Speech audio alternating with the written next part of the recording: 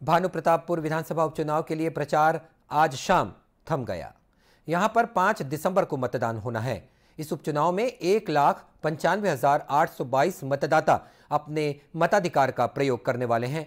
Collector और जिला निर्वाचन अधिकारी डॉक्टर प्रियंका शुक्ला ने सभी मतदाताओं को निर्भीक होकर मतदान करने की अपील की है। उन्होंने कहा कि मतदान आपका संवैधानिक अधिकार है। उपचुनाव में सभी मतदाता अपने मताधिकार का प्रयोग करें।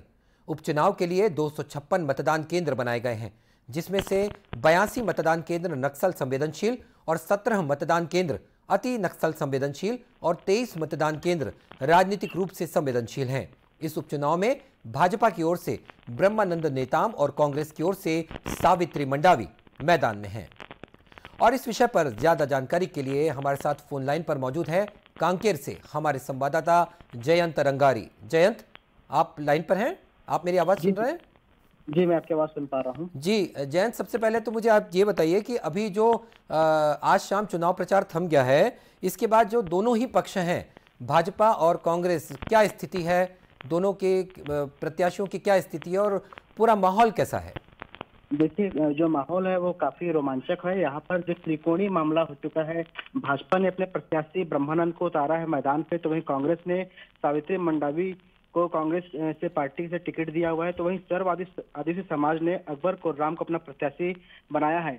क्योंकि यहाँ पर जो है त्रिकोणीय मुकाबला हो चुका है और काफ़ी रोचक भी है, प्रचार प्रसार जो है थम गया है। अब जितने भी प्रत्याशी हैं और पार्टी से जुड़े हुए जो लोग हैं, वो डोर टू डोर जो है अपने अपने प्रत्याशी के प्रचार प्रसार के लिए निकल चुके हैं। आपको बता दूँ कि विधानसभा क्रमांक अस्सी भानु प्रतापपुर में 2018 में जो मनोज मंडावी उन्होंने अपने प्रतिद्वंदी को छब्बीस वोट से हराया था और सन उन्नीस में पहली बार यहाँ पर जो है चुनाव हुआ था, जिसमें जो है निर्दलीय प्रत्याशी राम प्रसाद जी ने जीत हासिल किया था। दो हज़ार से लेकर 2018 तक तेरह बार जो है चुनाव हो चुके हैं और अभी जो है लगभग सात हज़ार मतदाता हैं उनमें इजाफा हुआ है। लगभग इस विधानसभा क्षेत्र में एक लाख पंचानवे हज़ार आठ सौ बाईस जो है मतदाता है। अच्छा जयंत जी ये बताइए ये तो आपकी जो ग्राउंड की स्थिति है वो आप मुझे बता रहे हैं लेकिन चूँकि कुछ एरिया संवेदनशील भी है हमने देखा हमने अभी समाचार में बताया कि कुछ अति संवेदनशील है नक्सल को लेके तो वहाँ पे सुरक्षा के क्या इंतज़ाम किए गए हैं? कुछ संवेदनशील है कुछ राजनीतिक रूप से संवेदनशील है?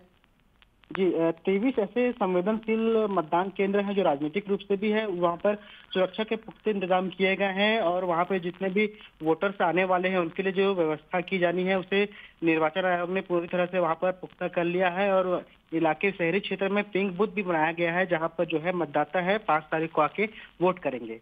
अच्छा कौन कौन से स्टार प्रचारक दोनों पार्टियों, अब आप बता रहे हैं कि त्रिकोणीय मुकाबला है तो पहले तो स्टार प्रचारक दोनों पार्टियों के कौन कौन से आए हैं? देखिए जो भाजपा के प्रदेश अध्यक्ष हैं वो आए थे जी हाँ? और पूर्व भाजपा से उनके प्रदेश अध्यक्ष है वो आए थे। जी हाँ? और डॉक्टर रमन सिंह डॉक्टर रमन सिंह आए थे भाजपा के स्टार प्रचारकों में। और कांग्रेस पार्टी से मुख्यमंत्री भूपेश बघेल आए हुए थे। बाहर से तो वैसे कोई स्टार प्रचारक नहीं आया था जिसमें छत्तीसगढ़ के ही जो लोग थे वही लोग जो है यहाँ पर प्रचार प्रसार करने के लिए आए हुए थे। ओके, ठीक है आपके इस जानकारी के लिए, लेकिन सबसे हम मतदाताओं से यही अपील करेंगे कि जब पाँच तारीख को चुनाव हो तो आप अपने मत का निर्भीकता से प्रयोग करें, क्योंकि आप मताधिकार आपका अधिकार है। और ये थे हमारे संवाददाता जयंत रंगारी, जो कांकेर से हमें जानकारी दे रहे थे इस उपचुनाव के बारे में। बढ़ते